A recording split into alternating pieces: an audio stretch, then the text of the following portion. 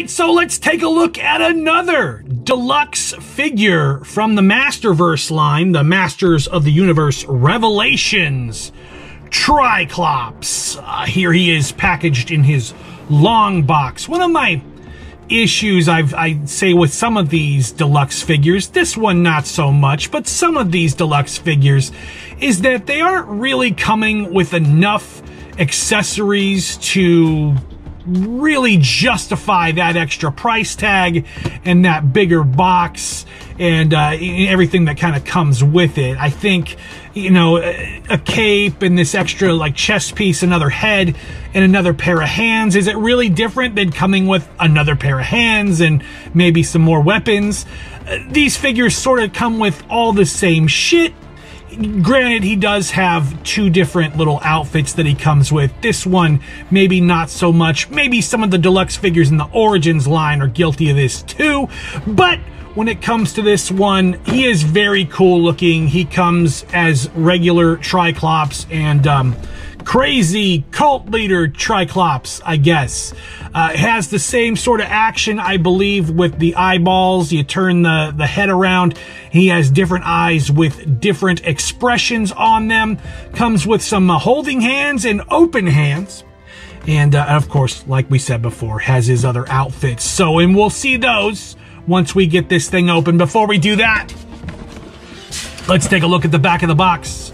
Triclops evil and sees everything. The technological genius with the tri-sided visor served Skeletor for years. Now that the nefarious Lord of Destruction disappeared, however, Triclops discovered his new purpose. With magic fading from Eternia, Triclops preaches about the weakness of flesh and the strength of machines as a leader of technological cult operating out of Snake Mountain, he demands his followers abandon their weakness and prepare for the digital embrace of Motherboard.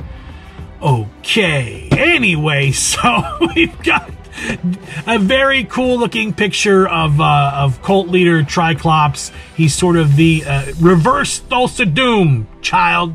And uh, let's turn, let's not waste any more time and get this thing outside of the box and see what it looks like. All right, so here is Triclops outside of the box. Uh, of course, he is packaged like so with his holding hands and his uh, standard Triclops gear. Let's take a look at this figure as is.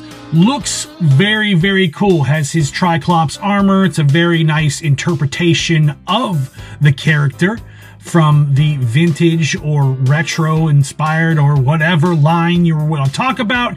This is what you think of when you think of Triclops and what else do you think of when you think of Triclops? His uh, magic friggin' visor, whatever they call it.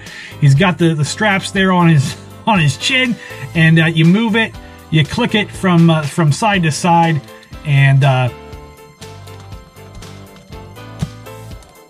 you can change the eyes on there depending on which expression you want to have on his face. Um, very, very cool. Works just like the old school Triclops, the old Triclops from the vintage line, or I imagine what the Triclops in the classics line worked like. I'm sure, I'm hoping that that Triclops had the visor that turns and the eyeballs. Also comes with the sword and uh, you can hold it in either one of his holdy hands.